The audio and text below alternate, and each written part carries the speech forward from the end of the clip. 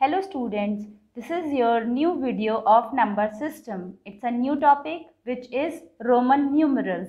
The ancient Romans used Roman numerals to express the numbers. You can find these Roman numerals on clocks and many public buildings. So what is the role of these Roman numerals in maths?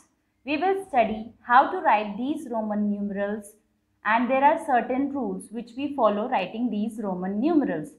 So as you can see on the board, I have written 1, 2, 3, 4, 5, 6, 7. 7 Roman numerals.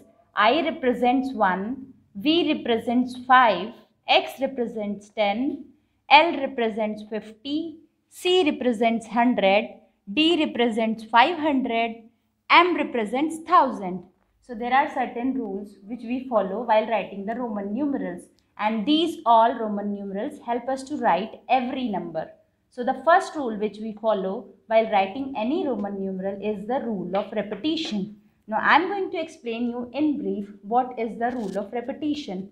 Rule of repetition says that any Roman numeral can be repeated three times but not more than three times okay but there are exceptions also and those exceptions are V, L, D.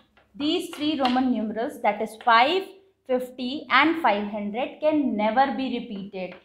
You cannot repeat these Roman numerals.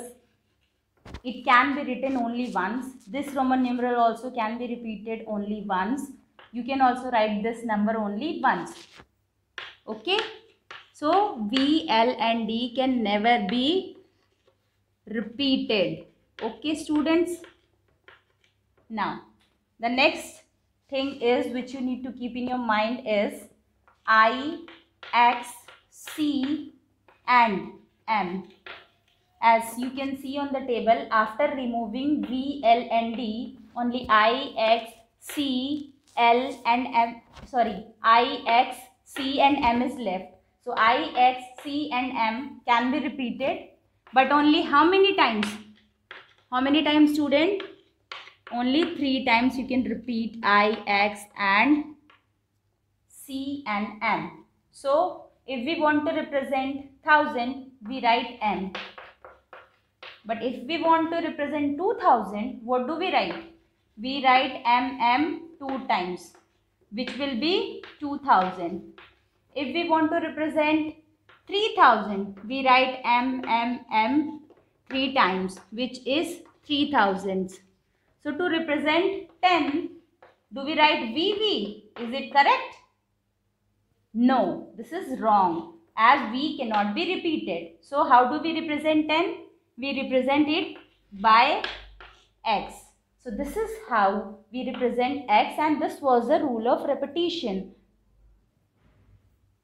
So students, now I will explain you the second rule which is rule of addition. In rule of addition, whenever a Roman numeral which is smaller is written on the right side, then we add, right? So I am giving you an example how this rule starts.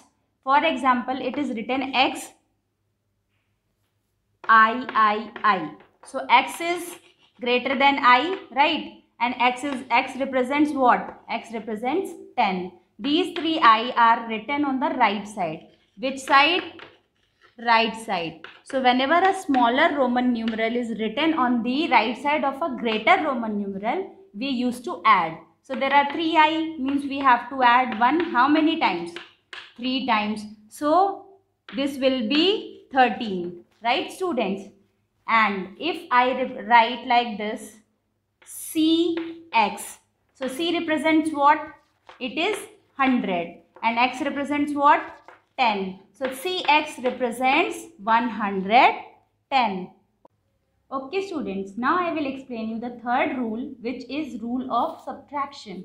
In this rule, whenever a smaller Roman numeral is written on the left side of a greater Roman numeral, then we use to subtract like x, c. When there was cx, it was on the right side and it was added so it was 110 now x is on the left side so it is subtracted it will be 100 minus 10 that is 90. So whenever there is any smaller Roman numeral on the left side of a larger Roman numeral, you have to subtract it. Now there is one more exception as I told you in the rule of repetition. V, L and D can never be repeated. In the same way, V, L and D cannot be subtracted. So you cannot write these Roman numerals on the left side of a greater Roman numeral. Okay students? And this is how we write the Roman numerals by using the rule of subtraction. If we write 95, how do we write? Do we write like this? VCX. Do we write like this? No, this is wrong. Why this is wrong? Because V is on the left side and we cannot subtract. So in order to write 95, we have to write like this. 90 plus 5. And how we have represented 90? XC. So we will write like this. X, C and V. Now I will explain you larger Roman numerals. Okay students? So students, now I will take some examples on large Roman numerals. So first example is MCMXXXV. Which number is this? It seems to be very complex in order to identify which number is this. But from the rules which we have studied, we will easily find out the number. So First one, M is, M represents 1000. Now, M, CM, C is on the left side and C represents what? 100. M represents what? 1000. So, 1000 minus 100 will be 1000 minus 100 will be 900. Okay, students? So, you have to break into parts. Then only you will be able to recognize. Now x, x, x. It is on the right side and it is repeated 3 times. That means we have to add 10 plus 10 plus 10. How many times? 3 times. And V represents 5. So this number will be 1935. Right? So this is how we find out the big or larger Roman numerals. And now the next example is 3817. So how will you write the Roman numerals for this? 3 will be broken into 3800. This 800 will not be broken like this. It will be broken like 500 plus 100 plus 100 plus 10 plus 5 plus 2. Okay students, so 3000 will be written as 3 times m as I told you. Now 500 is written as D and 100 two times means you have to write C, C. Okay? Not two times, you have to write three times because 500 plus 300 will give you 800. So 3 times C will be there. Now X represents 10 now there is no space so I am writing it down 5 plus 2 V plus II.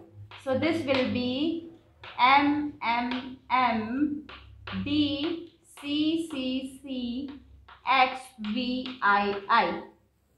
Okay students. So this is how we write the larger Roman numerals and we express them. I will be giving you few questions on the basis of this and these those questions be, will be based on the rules and you have to keep every rule in your mind. Thank you students. I hope you like the video.